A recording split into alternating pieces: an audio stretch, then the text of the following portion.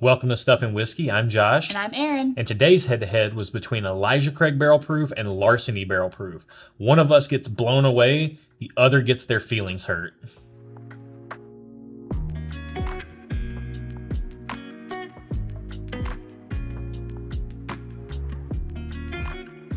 Welcome to the channel bringing real world content to the real world whiskey consumer. Our head to head matchups are always completely blind. We don't know what we're drinking, but you do. I think of interesting matchups from our collection here in the house, pour those into paired sample jars. They then get labeled and enter- entered into our blind sample pool, and then those are mixed up by Erin, completely selected at random here. We have 18 different pairings and we will run the randomizer to see which pairing we're going to be drinking today. We won't have a clue what it is, but Right. we're going to tell you Let's what we think about it. Find out. Five. Five. One, two, three, four, five. There we Dead go. center. So we're going to pour these up and we'll be right back with our first impressions of glass one.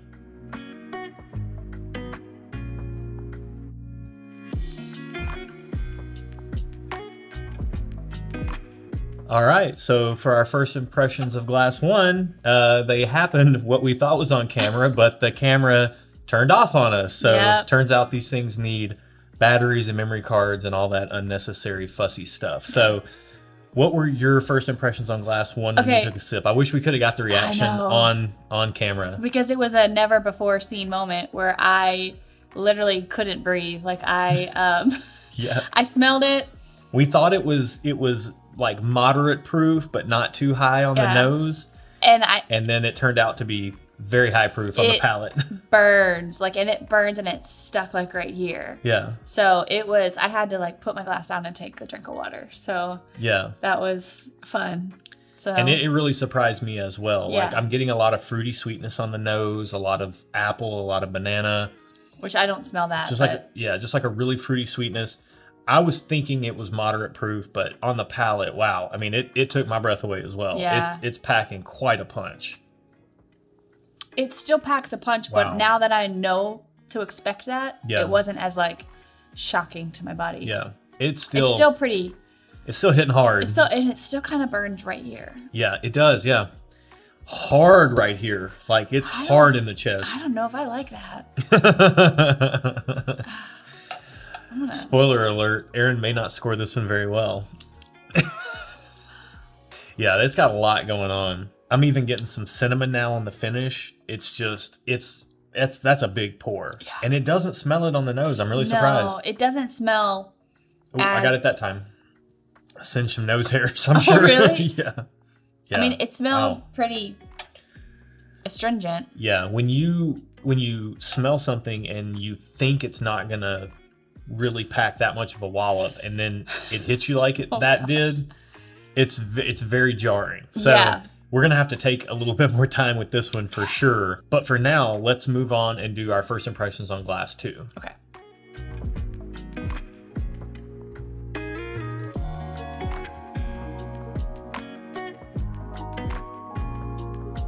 Ooh, Wow, smells like straw.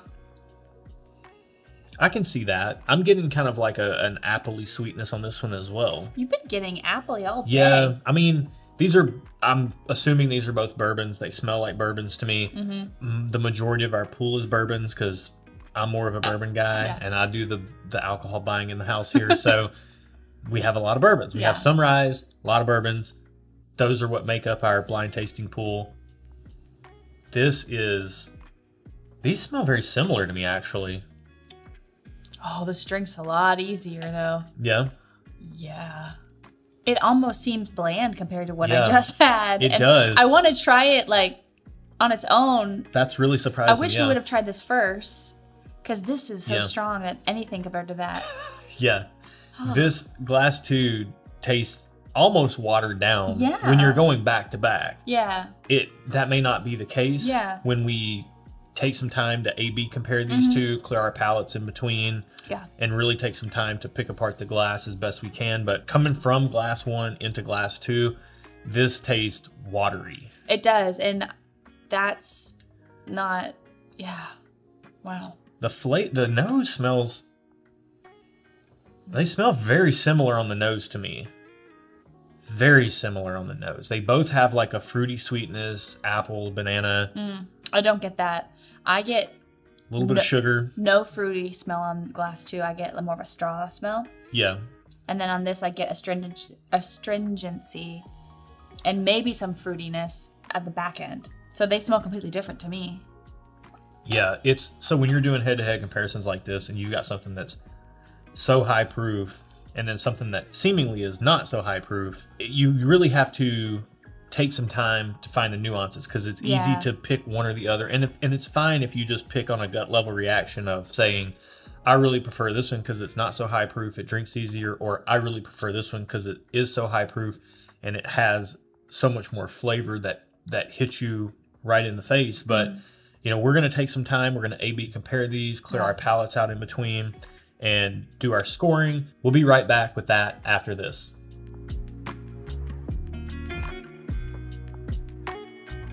So, our scoring system is a common sense system based on thumbs up. So, one thumb equals one point, two thumbs equals two points. Just okay is worth half a point. Thumbs down, no points for that. So, we rate across five categories. The tasting categories are the nose, flavor, and experience, and that's the tasting score. Later on, after we find out what these pours are, we'll give them a retail score based on the price and availability. That's the retail side of the equation.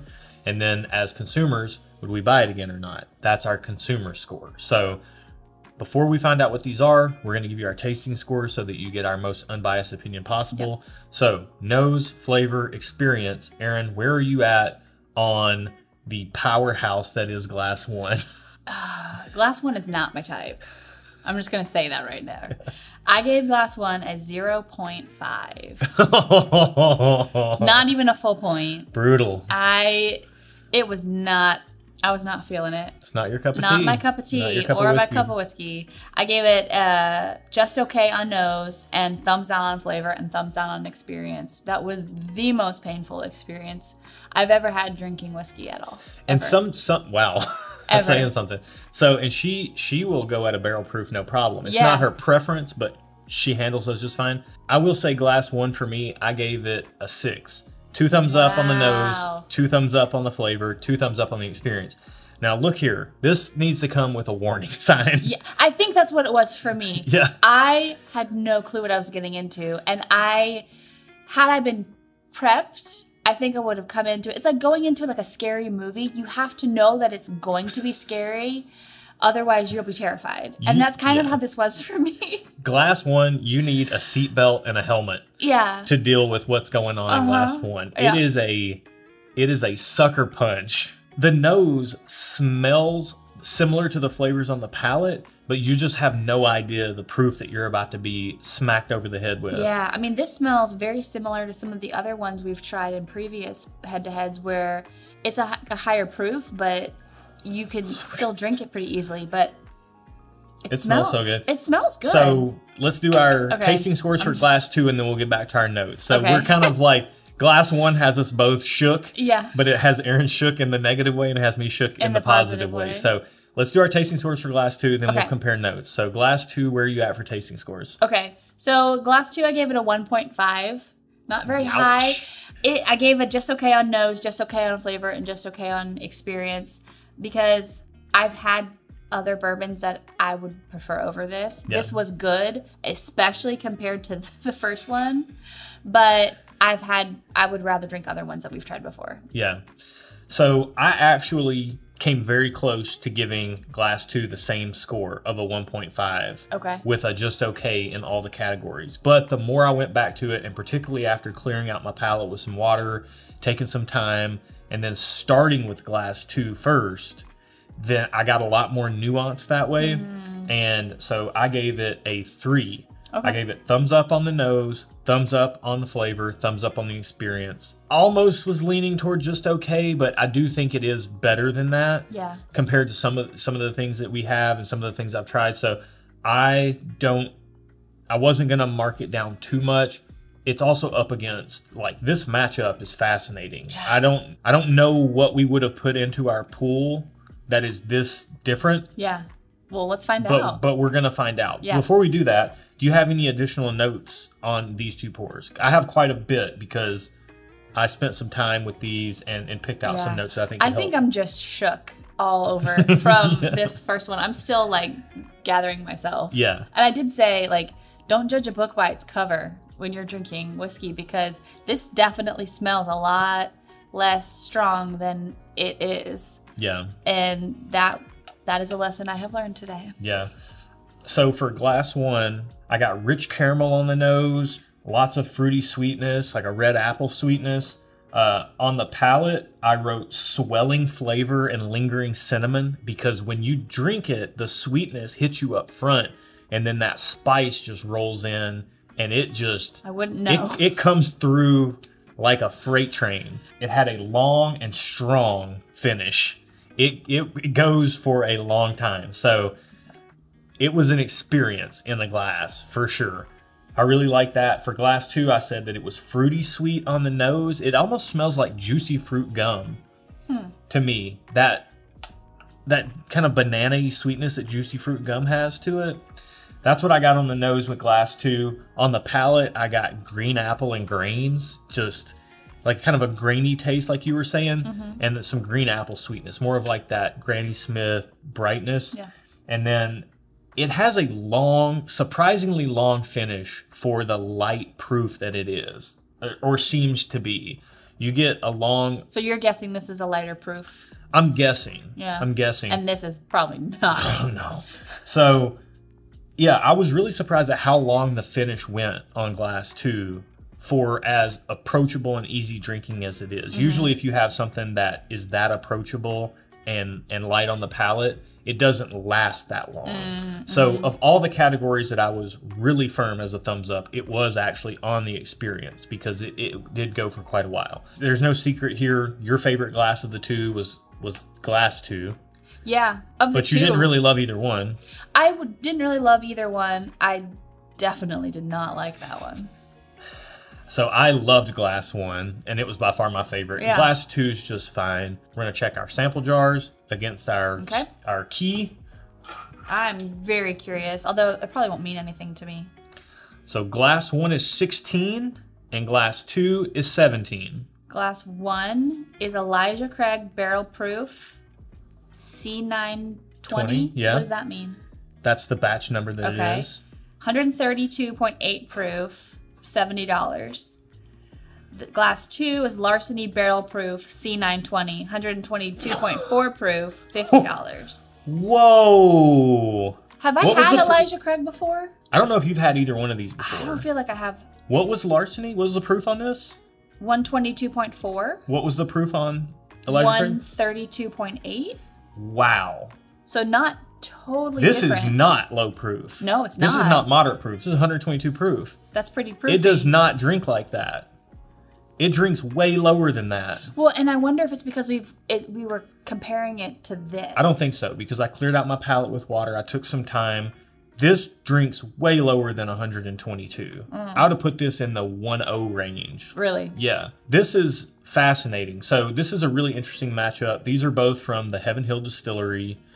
C920 for both batches indicates that it's the the third batch of the year from the year 2020, last year. Okay. This is a typical bourbon mash bill or recipe, which has rye as the secondary grain, corn is the first grain, 51% or more corn, and then the secondary grain is rye. Larceny is their wheated offering, so Okay. 51% corn or more. Instead of rye being the secondary grain, where you get that spice, you're getting wheat as the secondary grain. Is that the straw that I kind of? Yeah, so people kind of say wheated bourbons can kind of have a funk to them or like this kind of like strawy kind of grainy note. Mm-hmm. So you picked up on that and mm-hmm. I did as well, but it also tends to make them a little softer on the palate. Mm-hmm. I've had this Elijah Craig batch several times. It is a bomb of flavor. Like it it's an explosion. It's a bomb of It's- something. It's a freight train. I'm I'm you know what? I'm speechless. I'm let's just move on to our scoring. let's just get into the let's get into the retail and consumer scoring. So price wise, uh, Elijah Craig Barrel Proof Seventy. is sixty to seventy dollars in most markets. I think I paid seventy dollars for Mm-hmm. this bottle. Uh, Larceny Barrel Proof is about fifty or sixty dollars in most markets. So as far as availability goes, these are limited release batches. Okay. Uh, in our particular market in Nashville, larceny is harder to come by than Elijah Craig. There, a lot of people say these are really good barrel proof offerings from Heaven Hill, and that you find them like once they hit your market, you'll find them on shelves. These don't really hit shelves in our market here in Nashville. If you shop at a store regularly, they may hold one back for you or, or something like that. There may be some type of like a low key hookup situation. Mm-hmm. They're not so abundant that they sit on the shelves. So I would say availability in most markets is going to be somewhat comparable, if not skewed slightly more limited towards the larceny. Okay. Price wise, the larceny is a little cheaper, mm-hmm. you know, 70 versus 50. So take that into account for your scoring. So price and availability for retail score. And then whether you would buy it again or not for consumer score. Erin, This is gonna be brutal. This where are you at on Elijah Craig barrel proof? dude? Okay, thumbs down on retail score. Well, okay, okay. No, you know what? I'm being harsh. I would give it just okay on retail score. Did it did it hurt you? It hurt my feelings. Can you point to where it hurt you? It hurt me here. it still hurts right here. Can I have the rest of yours? You absolutely can. Thank you. Do you have any more of that? I'll take that. Sure, yeah. Okay. Let's do a little tradesies here. right. Oh I'll put this in the gosh. glass so, two spot. okay, so let's start over. I'm being really, really mean because it hurt my feelings. I'm gonna give it just okay on retail score because the price is okay. It's just okay, and the availability is just okay. But would I buy it again? Heck to the no. So zero on that. That's fair. So for Elijah Craig barrel proof, for the price for a barrel proof offering from Heaven Hill, such a such a historic distillery, and availability in our market, like I said, it's not plentiful. So I would I would almost want to give it two thumbs up if it were easier to get your hands on. But it, it honestly in our market is not. So I can only give it one thumbs up on that. So availability is hampering it, but the price is great for my in my opinion. As to whether I would buy it again or not for consumer score, I'm I almost want to say two thumbs up. Really? Almost. Yeah, it's such a Do I get like wife veto power on this? No, Oh, not if it's my fun money. that's true. But if it's if if I can get my hands on this, I'm trying to think. I want to say either thumbs up or two thumbs up.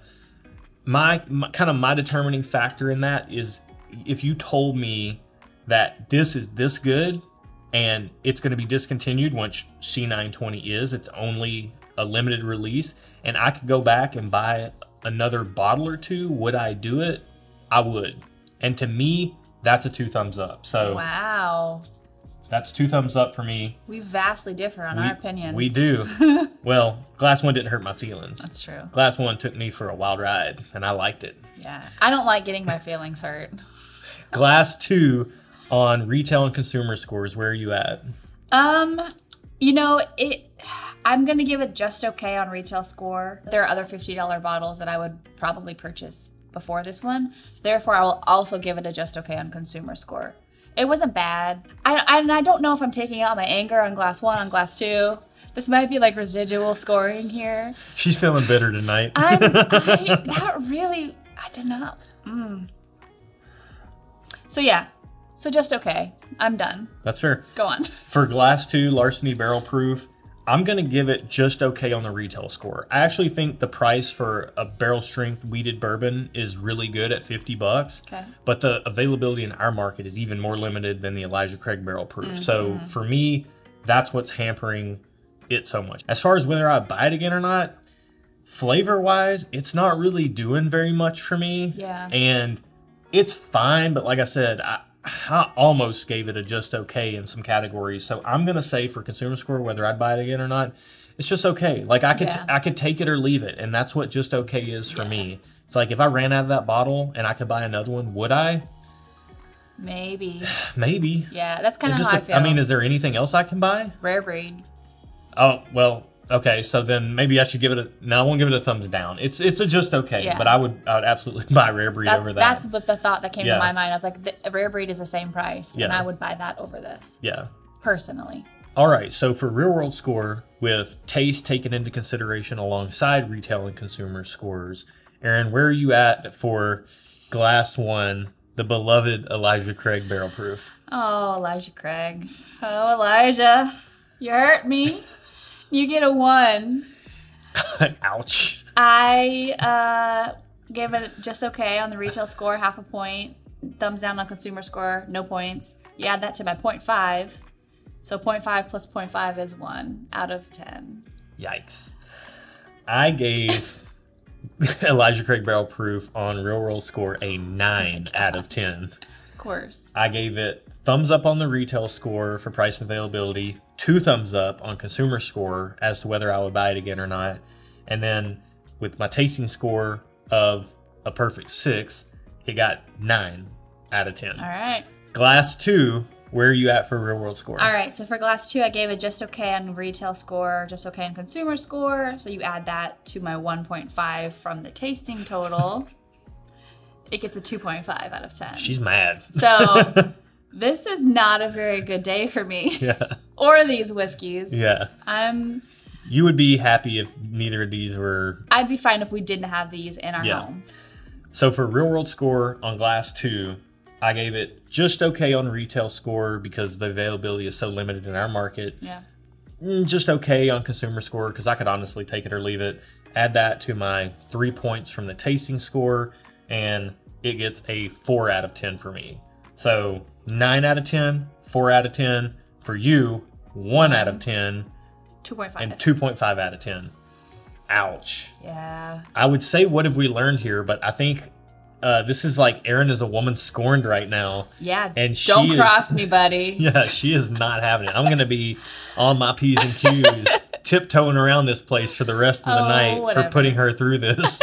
this is fa- this is a fascinating matchup, yeah, though. it I is. mean, it truly is. you've got you've got two pours here that are are really heavily esteemed in the bourbon community. If you like high proof, Elijah Craig Barrel Proof is kind of a must buy if you can get your hands on it.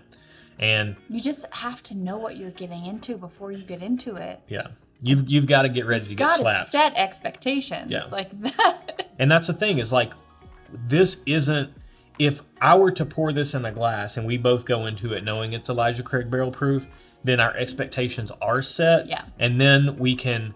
Your, your mind can almost trick you into saying like, oh, everybody loves this. Like mm-hmm. I I'm supposed to love it too. But if you taste it completely blind, the only thing you have to go on is what's in the glass. So you're only going on your own personal preferences. Mm-hmm. And to you, it was not to your preference. Correct. To me, it was very much to my preference. Mm-hmm. That's really what it should be about because you should buy what you like, not Yeah. not buy what everyone else likes and then talk yourself into liking it too. Yeah. That's why we do this blind, and then that's also why we go in after the fact and factor in these consumer metrics because there's a lot more to taste than talking yourself into liking a bottle just because you think you're supposed to. yeah, true. And I say that as somebody who is really prone to doing that. I'm really prone Mm-hmm. to knowing that something is really highly received in the community and feeling like I should like it. And then when I don't like it, almost trying to talk myself into liking Yeah. it, probably to justify the money I spent on it. Maybe, perhaps. But at the end of the day, you know, this we get down to the nitty gritty with these double blinds. Yeah. So if you like this double blind format, you can check us out on Patreon. Yeah. We've got our score sheets on there for certain tiers. You get access to all of our all of our information that we use to score these glasses and how we go about doing it. Mm-hmm. Yep. You can even sign up for tiers that have blind tasting kits for you. Mm-hmm. You get the sample jars, these little guys, eight of them. You get you get completely hooked up with everything you need to do to do these types of blind tastings in your home, either by yourself or with friends and family. And it's I mean, we It's have a ton of fun, fun. doing this. I if that didn't show through on the camera. I have to say, even though I did not like these drinks, I had a lot of fun with you. There you go. That's what it's all about. fun. Sharing pours, even if they violate you. even if they hurt you really badly. so that's it for that. Erin, hit us with the outro. Okay, well, if you liked today's video better than I did, please hit that like button. Uh, I will not be hitting the like button, but you should. And then also, if you want to keep seeing content like this, double blinds, we do weekly podcasts, hit that subscribe button and you can keep seeing us from now until you don't. There you go, guys. Yeah. Till next week. Cheers.